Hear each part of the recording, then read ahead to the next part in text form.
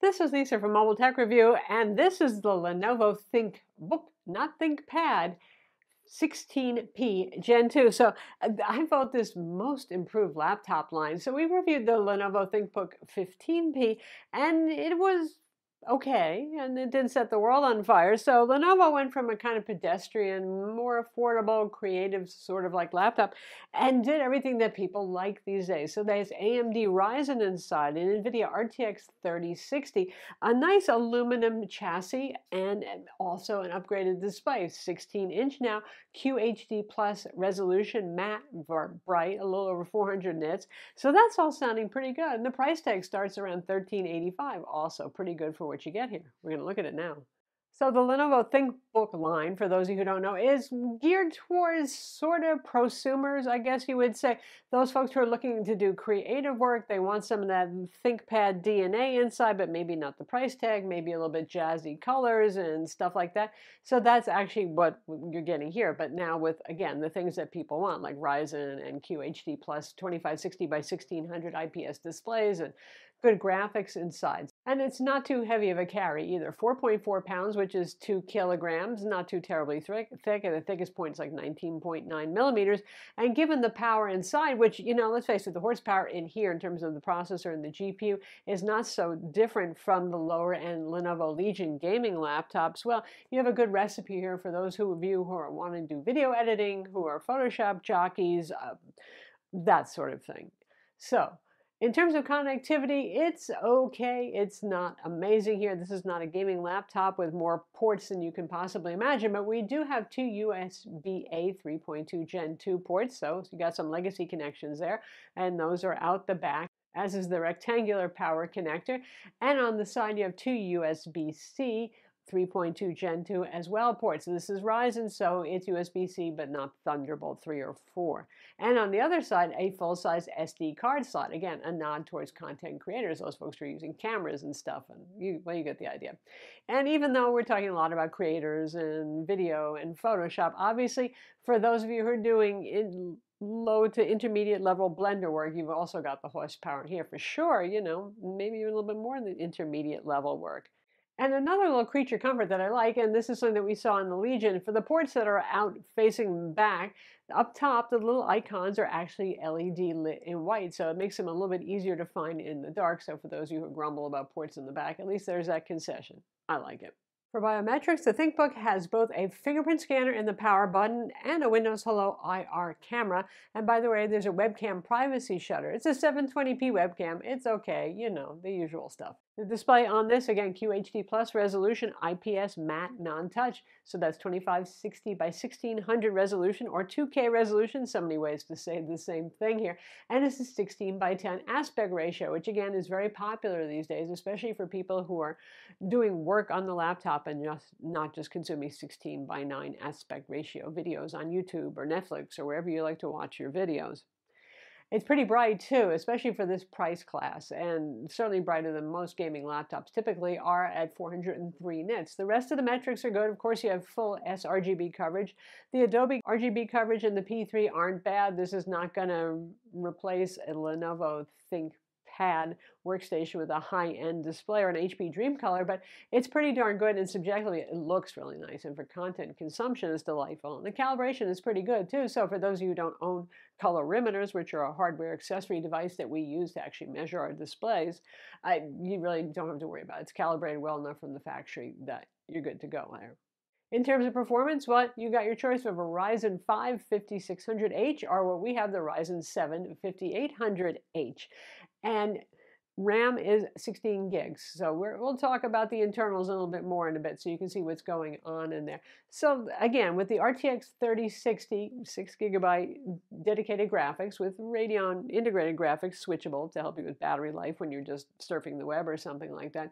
The RTX 3060 is 75 watt, which puts it in max Q territory, which for a non-gaming laptop of this thickness is fair enough. And you know, you can see right now here, it did just fine with Shadow of the Tomb Raider playing at native QHD plus resolution on high settings and DirectX 12. I mean, not bad. It's got game and it wasn't even that hot or that loud. So sure, yeah, if you purposely want gaming, get a gaming laptop. If you want to do gaming on the side, totally this is there for you.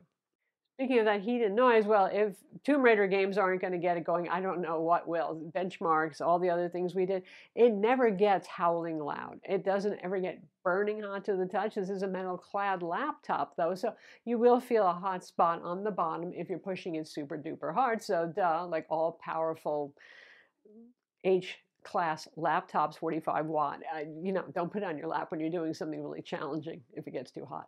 Keyboard on this is not ThinkPad level. It's okay. It's fine. I don't hate it by any means. And believe me, there's some of Lenovo's more consumer-oriented laptops that like IdeaPads that I haven't really liked the keyboard on, but this has some travel and some tactile feel. It's backlit in white. You do have the number pad on board for those of you who are, well, into the number pad thing. And the trackpad on this works perfectly well as well. I find it a little too fast out of the gate, but I mean, that's just a setting adjustment on it. It works nicely enough. So what about the internals? It seems like a fairly high performance laptop. Does it match what you would expect in terms of upgradability inside? First off, to take the bottom cover, it's really easy. Torx screws. You're going to need a guitar pick or something to pry it. It's on there pretty tight, but good ventilation here. And here's the underside. Notice these two here. These are thermal pads for, well, usually for SSDs. So that tells us, well, they might be planning on you having two of those.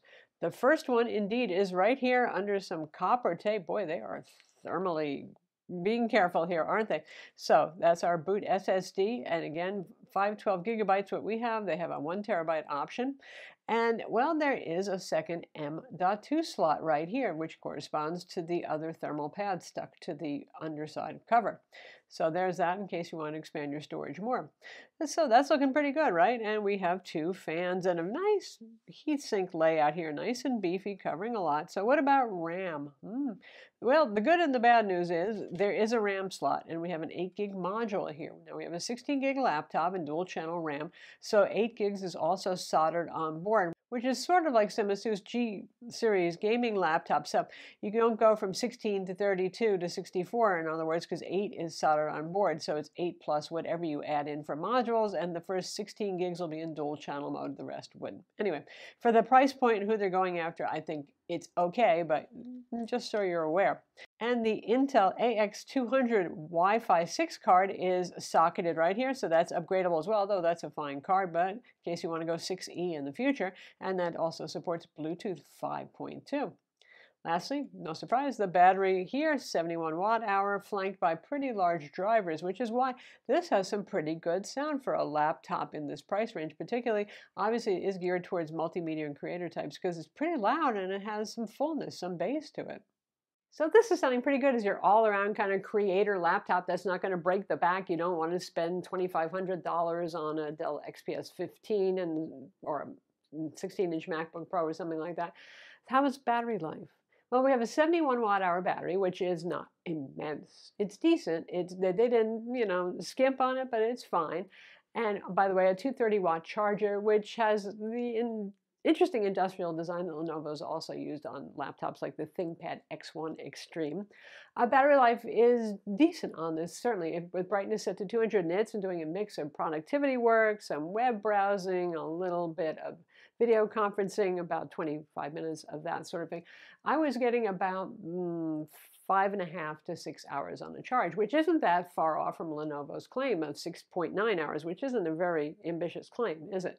Now, that is using mostly the Radeon integrated graphics, certainly not the NVIDIA GPU. So you're not going to buy this as an Ultrabook that can go for 10 hours or 15 hours at a run. Obviously, it's much more powerful than that, but that's acceptable for the price and for the class of machine that this is.